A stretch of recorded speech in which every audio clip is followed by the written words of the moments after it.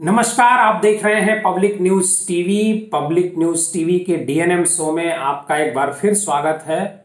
आज हम बात कर रहे हैं कांग्रेस के नए अध्यक्ष की। 24 साल बाद कांग्रेस को आज गैर कांग्रेस गांधी फैमिली का एक अध्यक्ष मिल गया, मल्लिकार्जुन खड़गे, जो दलित बिरादरी से आते हैं, वो कांग्रेस के राष्ट्रीय अध्यक्ष चुन लिए गए हैं। उन्नीस सौ अट्ठानवे के बाद पहली बार कांग्रेस अध्यक्ष के लिए मतदान हुआ। उन्नीस सौ अट्ठानवे में जब मतदान हुआ था, उस समय सोनिया गांधी और जितेंद्र प्रसाद दो लोग कंटेस्ट कर रहे थे। सोनिया गांधी उसमें जीती थी। इस बार मल्लिकार्जुन खड़गे और शशि थरूर, जो युवा तुर्क कहा जाता है, शशि थरूर को, वो चुनाव मैदान में थे और मल्लिकार्जुन खड़गे को जो अड़सठ सौ पच्चीस वोटों से उन्होंने अपने जो प्रतिद्वंदी थे, शशि थरूर उनको हराया। ये पहली बार हो रहा है पार्टियाँ सारी हैं, देश में राजनीतिक दल हैं, भारतीय जनता पार्टी है, कांग्रेस है, समाजवादी पार्टी है, तृणमूल कांग्रेस है, आम आदमी पार्टी है, जिसकी दो स्टेट में सरकार है, शिवसेना है, शरद पवार की पार्टी है, एनसीपी, लेकिन लंबे समय से किसी भी पार्टी में लोकतांत्रिक तरीके से चुनाव नहीं हो रहा था अध्यक्ष पद के लिए। कांग्रेस ने इसमें अगर कहा जाए तो लीग से अलग हट करके काम किया है और इसका क्रेडिट राहुल गांधी को जाता है। क्योंकि राहुल गांधी को पिछले दो साल से जब से उन्होंने अध्यक्ष पद से इस्तीफा दिया, उसके बाद से लगातार कहा जा रहा है कि वो अध्यक्ष बने, बट राहुल गांधी अध्यक्ष की कुर्सी संभालने से मना कर रहे थे। राहुल गांधी इस समय भारत जोड़ो यात्रा पर हैं और इस दौरान मतदान के ज़रिए बाकायदे मतदान हुआ हर राज्य में मतदान हुआ दिल्ली में मतदान हुआ और उस मतदान में जो डेलीगेट्स हैं उन्होंने वोट दिया और वोट के ज़रिए मल्लिकार्जुन खड़गे नए राष्ट्रीय अध्यक्ष बन गए। आपको पता होगा कि राष्ट्रीय अध्यक्ष के लिए ए, राजस्थान के जो मुख्यमंत्री हैं अशोक गहलोत का नाम सबसे पहले चला था कि अशोक गहलोत राष्ट्रीय अध्यक्ष बनेंगे, लेकिन अशोक गहलोत की कुछ जो पार्टी नेतृत्व है, जो सोनिया गांधी है, उनसे कुछ तलखी हो गई मुख्यमंत्री पद को लेकर के। उस तलखी की वजह से अशोक गहलोत राष्ट्रीय अध्यक्ष के पद रेस से बाहर हो गए। तब मल्लिका अर्जुन खड़गे, जिन्हें कहा जाता है कि वो गांधी फैमिली के बहुत नजदीकी हैं और रिमोट गांधी फैमिली के पास ही होगा अध्यक्ष का, ऐसा कहा जा रहा है, और पार्टी का। लेकिन एक बार आपको राहुल गांधी के आज के बयान पर भी गौर करना चाहिए। राहुल गांधी ने भारत जोड़ो यात्रा के दौरान कहा कि अब खड़गे जी तय करेंगे कि मुझे क्या करना ये बहुत बड़ी बात राहुल गांधी ने कही है कि अब राष्ट्रीय अध्यक्ष खड़गे जी हैं, वो तय करेंगे कि हमारी भूमिका क्या होगी मतलब राहुल गांधी की भूमिका क्या होगी, ये खड़गे जी तय करेंगे। ये इस बयान के कई मायने निकाले जा रहे हैं। कुछ लोग तो कह रहे हैं कि ये राहुल गांधी का खड़गे जी को सम्मान है, लेकिन जो रिमोट रिमोट कंट्रोल है पार्टी का, कांग्रेस पार्टी का, वो गांधी फैमिली के पास ही रहेगा। वैसे अगर देखा जाए तो पार्टी का अध्यक्ष जैसे अमित शाह जी अध्यक्ष थे, अमित शाह जी से पहले भारतीय जनता पार्टी में राजनाथ सिंह जी अध्यक्ष थी। अब नड्डा जी अध्यक्ष हैं, दो साल का उनका कार्यकाल अभी पूरा हुआ है, फिर उन दो साल के लिए उनको, उनका नॉमिनेशन बढ़ा दिया गया है। लेकिन जो सबसे बड़े नेता हैं, वो है नरेंद्र मोदी। नरेंद्र मोदी जो चाहते हैं भारतीय जनता पार्टी में, वही होता है। इसी तरह से कांग्रेस में भी आज की तारीख में सबसे बड़े नेता हैं राहुल गांधी। खड़गे जी राष्ट्रीय अध्यक्ष बन गए हैं, लेकिन चलेगी राहुल गांधी की ही और उनकी माताजी सोनिया गांधी की। ये एक बड़ी बात निकल करके ए, सामने आ रही है। हालाँकि इस इलेक्शन में कई तरह के डिस्प्यूट भी खड़े हुए। अभी आज ही जो उनके शशि थरूर के जो इलेक्शन एजेंट हैं सलमान सोज उन्होंने आरोप लगाया कि वोटिंग में उत्तर प्रदेश में धांधली हुई है। अब धांधली हुई या नहीं हुई ये मैं नहीं कह सकता, लेकिन उनका इस तरह का आरोप है। और आपको यह भी बता दें कि खड़गे साहब 80 साल के हैं और दक्षिण भारत से आते हैं। खड़गे साहब तब राष्ट्रीय अध्यक्ष बने हैं जब भारतीय जनता पार्टी 75 साल से ज़्यादा, उम्र से ज़्यादा के लोगों को टिकट नहीं दे रही है। लोकसभा के दौरान भी 75 साल जिनके पूरे हो गए थे, भारतीय जनता पार्टी ने उनको टिकट नहीं दिया। अभी हिमाचल में जो कल सूची आई है भारतीय जनता पार्टी की, उसमें भी भारतीय जनता पार्टी ने 75 साल से ज़्यादा के नेताओं को टिकट नहीं दिया और एक परिवार के एक व्यक्ति को टिकट दिया है। किसी परिवार को दो व्यक्तियों को टिकट विधानसभा में नहीं मिला है। और जो खड़गे साहब हैं, वो अस्सी साल उम्र उनकी हो चुकी है और इस समय राज्यसभा में वो कांग्रेस के नेता थे।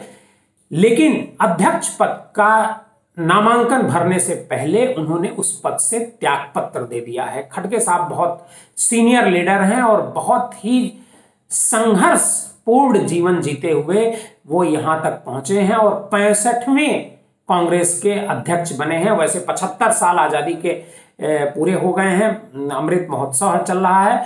इस दौरान 42 साल तक कांग्रेस की बारडो गांधी फैमिली के पास रही है।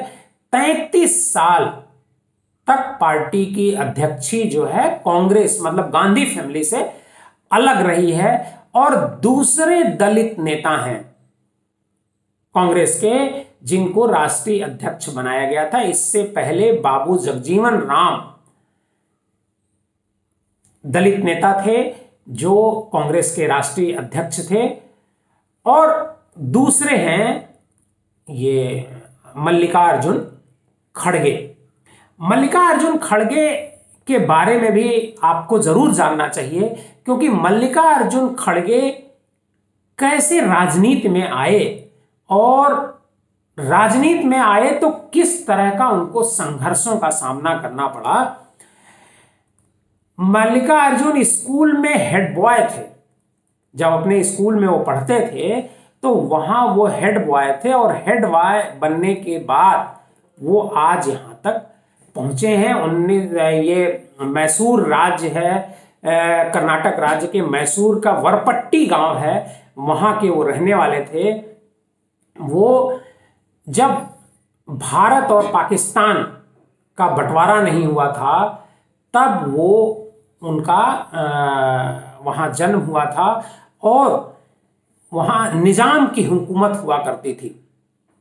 जब भारत और पाकिस्तान का बंटवारा हुआ, उसी दौरान वहाँ पर हिंदू मुस्लिम दंगे हुए मतलब उनके गाँव में दंगे हुए, मैसूर में दंगे हुए और उस जो उनका वरपट्टी गाँव है, उस पर निज़ाम की सेना ने हमला कर दिया।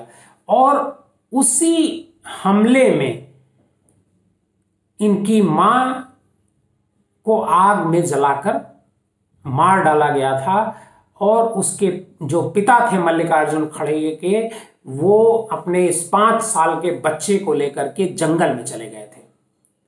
तीन महीने तक वो जंगल में रहे और उसी जंगल में मजदूरी करते थे और मजदूरी करके जब वहाँ से जंगल से बाहर निकले तो उन्होंने अपने बच्चे को पढ़ाया। और पढ़ा करके मल्लिकार्जुन खड़गे को वकालत की पढ़ाई पढ़ाई। और वकील बने। वकील बनने के बाद वो अपने यूनियन के लीडर बने और उसके बाद विधायक बने। उसके बाद आंध्र प्रदेश और कर्नाटक अपने जो सॉरी कर्नाटक में वो मंत्री बने रहे, लंबे समय तक मंत्री रहे और केंद्र सरकार में मंत्री रहे और दो बार वो एमपी रहे हैं और जो मल्लिकार्जुन खड़गे के बारे में कहा जाता है कि वो गांधी परिवार के बेहद करीब हैं और इसी वजह से मल्लिकार्जुन खड़गे को कांग्रेस ने अशोक गहलोत के बाद दूसरे नंबर का नेता माना जिसको राष्ट्रीय अध्यक्ष के लिए प्रस्तावित किया। हालाँकि कांग्रेस कह रही है कि ये बड़े लोकतांत्रिक तरीके से चुनाव हुआ है और जो राष्ट्रीय अध्यक्ष होगा, वो अपने हिसाब से काम करेगा। मतलब मल्लिकार्जुन खड़गे भी पार्टी को अपने हिसाब से चलाएँगे। लेकिन जो विपक्षी पार्टियाँ हैं और जो अब तक की हिस्ट्री रही है, उसके, उस पर अगर आप गौर फरमाते हैं तो कांग्रेस का राष्ट्रीय अध्यक्ष कोई भी हो, लेकिन चलेगी गांधी फैमिली की ही। सारे निर्णय, चाहे छोटे निर्णय हो या बड़े निर्णय हो, वो सारे निर्णय गांधी फैमिली ही लेगी। क्योंकि गांधी फैमिली ही एक ऐसी फैमिली है जिसके नाम पर पूरे देश भर में वोट है और उस वोट को सहेजने का काम गांधी फैमिली ही करती है। और दक्षिण, अभी वैसे तो कांग्रेस के जो पूरब के अध्यक्ष ज़्यादा रहे हैं इसमें, जो भी गैर कांग्रेसी अध्यक्ष रहे हैं मतलब गैर गांधी फैमिली के, गांधी फैमिली भी पूरब की है, लेकिन जो दक्षिण है, साउथ साउथ से अब तक ये छठ, पाँच बार पहले भी अध्यक्ष रह चुके हैं कांग्रेस के। पहले जो अध्यक्ष थे 1948 से उनचास तक, पद्मनाय सीतारमैया। और 1960 से तिरसठ तक नीलम संजीवा रेड्डी, जो बाद में राष्ट्रपति भी हुए, वो थे। और के कामराज चौसठ से लेकर के सड़सठ तक कांग्रेस के अध्यक्ष रहे। एस निजलिंगपा उन्नीस से उनहत्तर तक रहे और उन्नीस सौ बानवे से चौरानवे के बीच में पीवी नरसिंहा राव भी कांग्रेस के अध्यक्ष रहे। और कांग्रेस के अध्यक्ष रहने के वो बाद में प्रधानमंत्री भी बने। हालाँकि जितने भी प्रधानमंत्री बने हैं, उनमें शायद पहले वो अध्यक्ष हैं नरसिंहा राव कांग्रेस के, जिनको आगे चल करके कांग्रेस ने प्रधानमंत्री भी बनाया। एक बात कही जा रही है कि जो इलेक्शन हुआ है, इस इलेक्शन के बाद कांग्रेस में फूट पड़ सकती है। क्योंकि थरूर चुनाव लड़े और थरूर को यूथ जो कांग्रेस का है वो बहुत पसंद करता है। और जिस तरीके से उनके जो इलेक्शन एजेंट हैं, सलमान सोद साहब, जिस तरीके, उन्होंने जो आरोप लगाए हैं पार्टी के ऊपर, वो एक चिंता पैदा कर रहा है कि इलेक्शन में धांधली का उन्होंने आरोप लगाया था। तो क्या इसको लेकर के आगे जो है कोई तनाव पैदा हो सकता है पार्टी के भीतर। क्या पार्टी, चूँकि शशि थरूर जी चुनाव हार गए, हालाँकि जब इलेक्शन चल रहा था तो वो भी अपना कैंपेन कर रहे थे और खड़गे साहब भी कर रहे थे। उस दौरान दोनों लोगों ने इस बात को कहा था कि ये आंतरिक चुनाव है, ये परिवार का चुनाव है। इसमें फ्रेंडली फाइट हो रही है। जो जीतेगा, वो भी कांग्रेसी होगा और जो नहीं जीतेगा वो भी कांग्रेसी होगा।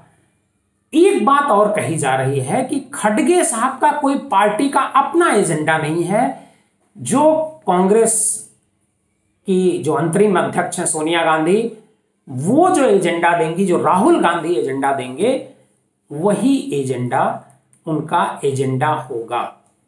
लेकिन यह भी एक देखने वाली बात है कि कांग्रेस लोकतांत्रिक तरीके से चुनाव करने, कराने वाली सबसे बड़ी और पहली पार्टी हो गई है। आगे देखिए क्या होता है। खड़गे साहब गांधी फैमिली के रिमोट के तौर पर काम करते हैं। पार्टी में कोई फूट होती है, ये तो समय बताएगा। आज के डीएनएम शो में बस इतना ही। खड़गे साहब को बहुत बहुत बधाई। धन्यवाद।